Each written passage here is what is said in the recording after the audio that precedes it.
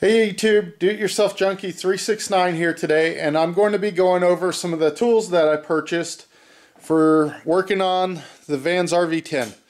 And this is just kind of an introductory video to the tools themselves, the bare minimum that you'll need to get. Uh, I spent about $800 on tools before I even ordered the kit.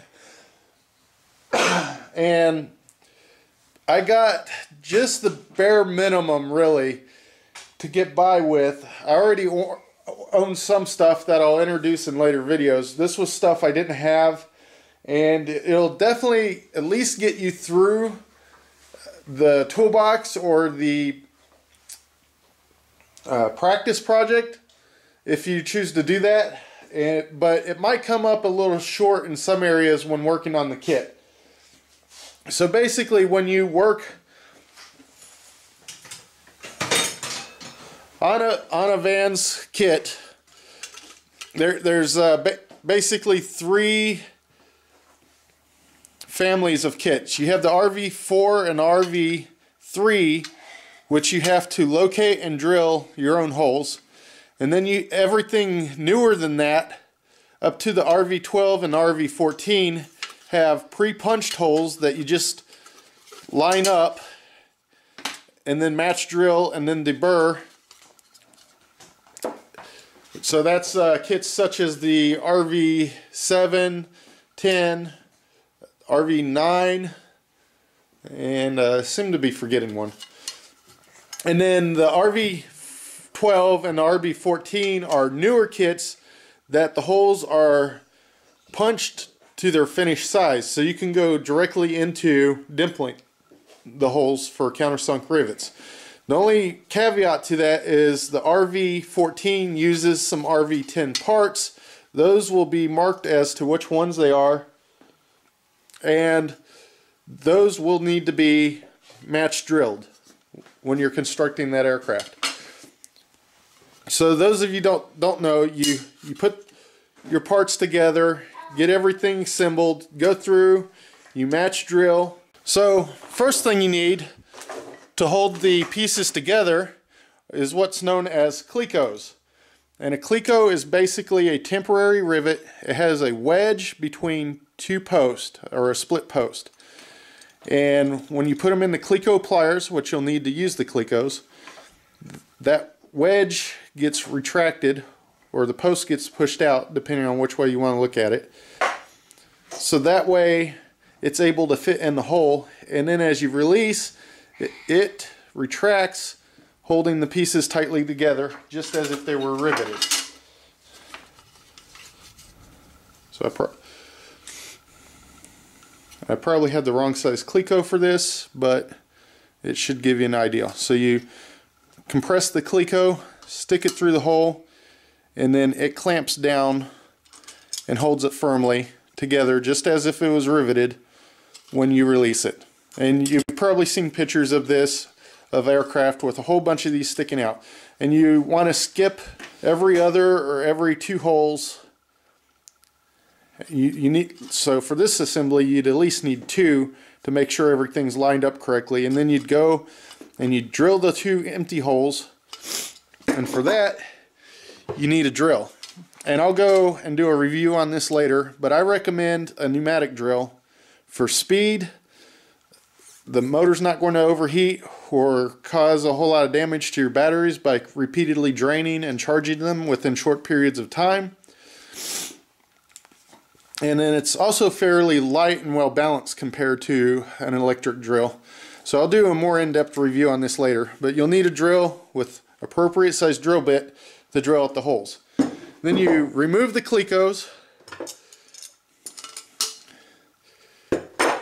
And if it's not Clecos, like let's say you start out with something with no holes in it, you can use these clamps to hold it together while you drill your first few holes.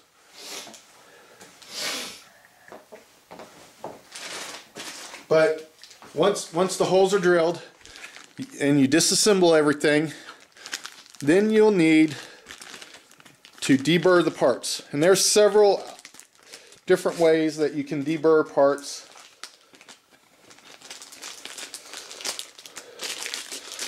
The, the method I went with is with a deburring tool that has replaceable blades.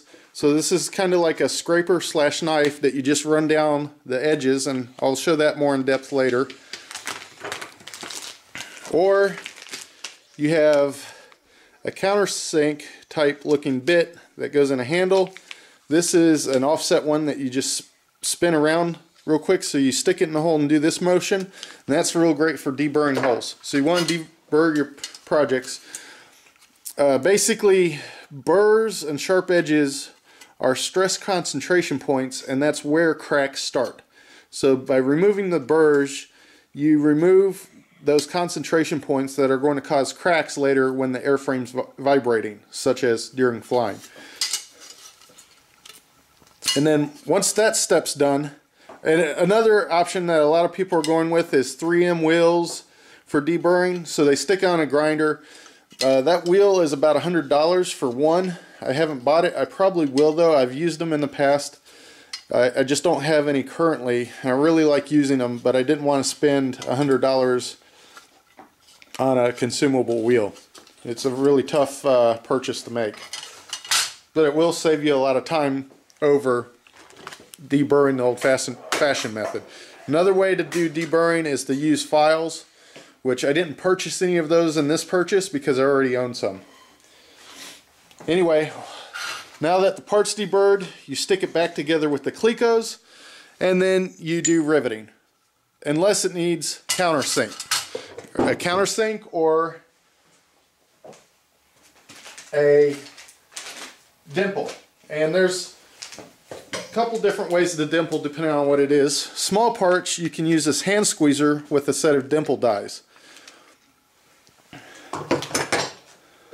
For large parts, such as the skin, you can use this long arm dimpler that mounts to the table and you stick the skin in there and there's a post here with the other dimple die on it. You stick that down the hole and you hit it with a hammer, which it, there's two or three different types of ways of doing that. Just same thing with the hand squeezer. A lot of people buy pneumatic squeezers. I'll do more in-depth reviews on most of these aircraft specific tools later. Stuff that's normally not in your garage. And if you need to countersink, you'll have a countersink bit. And it's a real good idea deal to use this microstop uh, countersink tool. Basically what that does is you set it and you press down while you're drilling and then you hit a stop and that sets your depth of your countersink so you don't go too deep with it. So there's that tool and then from there you, you move on to riveting and the hand squeezer or pneumatic squeezer if you have that can be used for riveting. Basically you put the two rivet dies in there, put the rivet in the metal, hold the rivet in place as you squeeze down and compress the other side of the rivet. Or, and there's a pneumatic version, instead of using your hand to actuate it, it does the same motion just with air pressure and a lever or a valve instead of actually squeezing it like a pair of scissors. And then the other option for riveting is a rivet, rivet gun. And a rivet gun, the size you want to get is probably 3X or 2X. I went with 3X because it's a little bit easier on larger rivets. And this one's specifically supposed to be kind of a 2X gun control-wise, but with uh, enough power to behave like a 3X gun. So it's kind of a good combination of both, and I'll do a more in-depth review of that later. And depending on what type of rivet you're driving, you'll have a rivet set here. This one's for a domed rivet instead of a flush rivet. And on the initial purchase, you want to buy, I'll, I'll, put a list down below of what sizes of everything I got, exactly what I got to start out with. This is a back rivet so instead of putting your rivet gun on the manufacturer head, you put the manufacturer head down on a steel plate on your bench, and then you go along with this and make the chop heads using your back rivet attachment. So definitely want to have that. It speeds up stuff. Here's another domed rivet, just larger size. And then the flat or the flush rivet set. You'll definitely want one of those. And, and then you'll want dimple dies and some rivet sets, domed and flat for your pneumatic or your hand squeezer. And I'll list specific sizes that I started out with. And every time I use something new, I'll point out exactly what I'm using so you know roughly how far into the build you're going to need something. And then last thing you need for riveting that you probably don't have in your shop is some sort of bucking bars. And it used to be that you bought a lot of bucking bars of different sizes and shapes to fit into different areas because normally they're quite large. This is a tungsten bucking bar so you get all the weight of a large bucking bar in a really small package. And since this can fit into tighter spaces, you don't have to buy a whole lot of different bucking bars of different shapes. So I only bought one to start out with.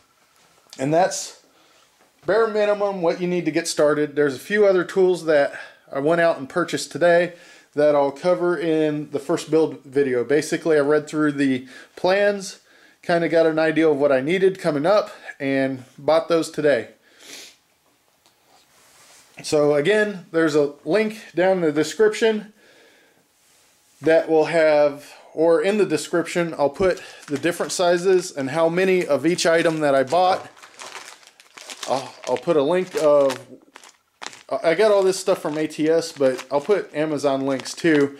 ATS is on Amazon, and you can just go on there, get it off there, and that's really great, especially if you have Prime. You can pick up free shipping if your order is over a certain amount. And ATS is great because they're always doing some sort of sale as long as there's like a holiday, like maybe it's National Donut Day. They have a weird sale for that for some reason.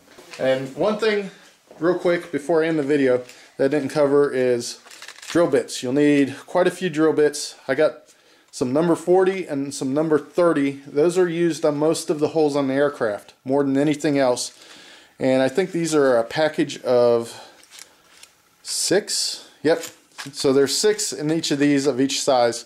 So that that's just the basic aircraft specific tools that you probably don't have in your garage that you'll want to pick up about the same time you pick up your kit or maybe a little bit before if you want to get familiar with them.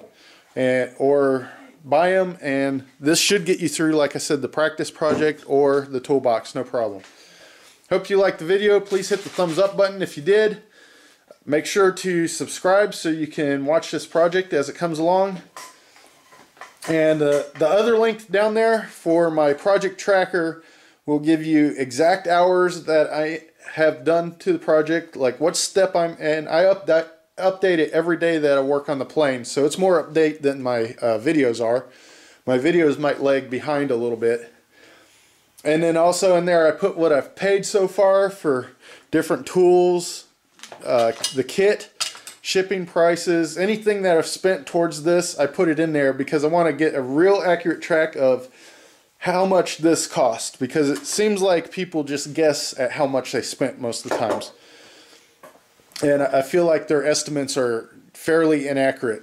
The, the numbers they're giving don't quite jive with the numbers that I get when I, I price out this project, um, which kind of worries me a little bit.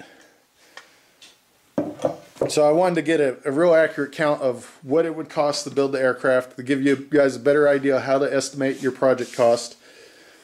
Um, exact number hours because Van says you can have like 60 to 40 percent 40 percent to 60 percent time difference between different people and nobody really tracks accurately how much time they just know they started one day and ended another day so they kind of guess on total time. So I'm tracking exactly down to the tenth of an hour how much time I spend on each task and how long the total project has taken. And I split those times up into prep work like building EAA tables actual build where I'm working on the kit or prep or uh, admin work. For example, calling and getting missing pieces replaced or something of that sort, or doing research towards something that I'm not familiar with. So that's the other link down there. Hope you liked the video, and thanks for watching.